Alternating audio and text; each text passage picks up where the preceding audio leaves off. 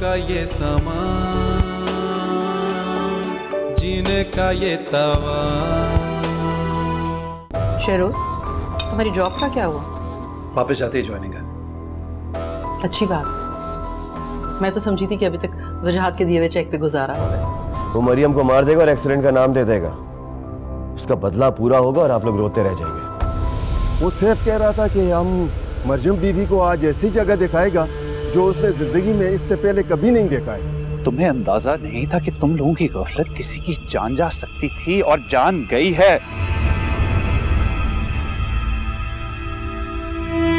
यादों का ये समा